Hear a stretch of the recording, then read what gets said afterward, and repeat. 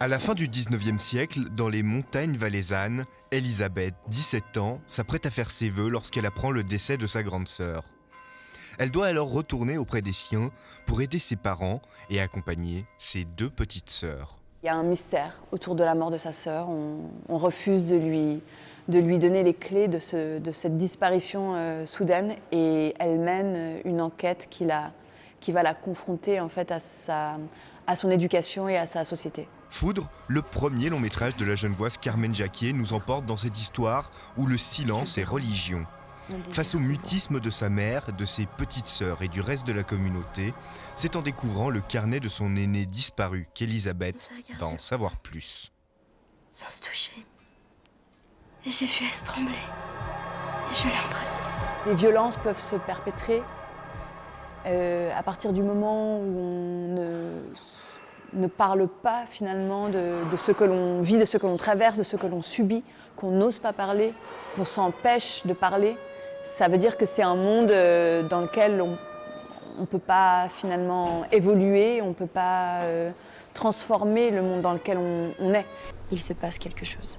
Pour donner vie à cette histoire, Carmen Jacquet a passé de longues années à rechercher des documents et témoignages de cette époque.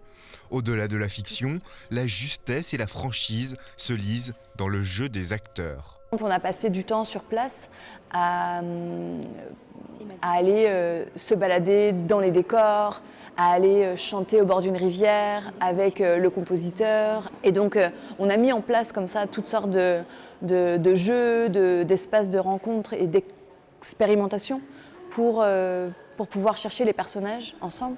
Et toujours un soin porté à chaque détail, images, musique, décors et costumes. Les deux costumières qui ont travaillé sur le film, euh, elles sont allées à la rencontre de, de, de, Valaisanne, euh, qui avaient encore dans leurs armoires euh, des vêtements d'époque.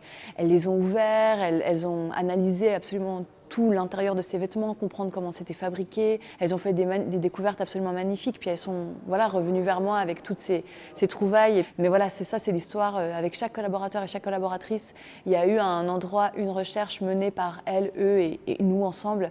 Et, qui, donne euh, ben, voilà, tous ces, décors, ces costumes, ces lieux dans, dans les moindres détails. Dans Foudre, les montagnes, loin du cliché de carte postale, suivent le parcours d'Elisabeth entre adolescence et émancipation, amour et dogmes religieux, des enjeux sociétaux de l'époque et toujours d'actualité.